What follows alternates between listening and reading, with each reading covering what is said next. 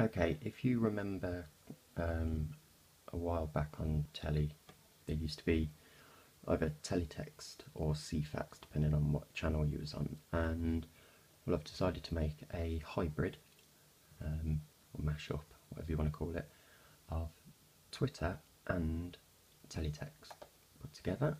There we go. Obviously, page number up there, the date, the time's ticking away as well. And then the options at the bottom, which earlier when I did start it, the new tweet one ended up being messages, but I can't be asked to do the messages at the moment. So that's that. And obviously I don't have a remote to use to um, to, to do the the options down at the bottom so I'll just have to actually click them so if I click on home there we go that loads my front home screen your feed or whatever it is and then I can scroll down as well and see people's tweets obviously at the moment things like um, images and stuff like that. Sorry, I'm bloody shaking. Um, yeah, images and stuff like that. I haven't got to um, around to making them show yet. Uh, so that's them. I can search for them. Then if I want to view my mentions, I can click mentions. There we go, that's what people have tweeted me.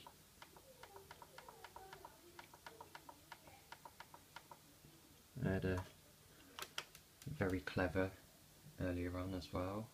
Uh, that was one of my followers when they guessed what it was that I ended up posting a picture of earlier as well. Yeah, so that's that. And then obviously if I click down the bottom there as well, that's my me page. So that's basically, if you was to view my profile, you'll see what's been shown. Um, and obviously, if it starts with RT, then it's obviously a, a retweet that I've retweeted, obviously. Yeah, so that's that's that. And then if I want to make a tweet, there's my new tweet now. Click that. There we go. I can create a new tweet. So then just in there I can click. So for the purposes of this, if I just type in um, hello world, uh, can you hear me? Smiley face. And then if I click post tweet, there we go, tweet sent tweet has been posted and then it obviously just shows me what I've tweeted and when it was tweeted. So if I go back to me, it should show up. There we go. Hello world, can you hear me? If I go to my home, and click it correctly. There we go. And it's also on there as well. And just so you can, I wish I put this on bloody stand now. Um, if I go over to here, um, right, oh, just sort me brightness out on that. There we go. Obviously that's it's proper Twitter now.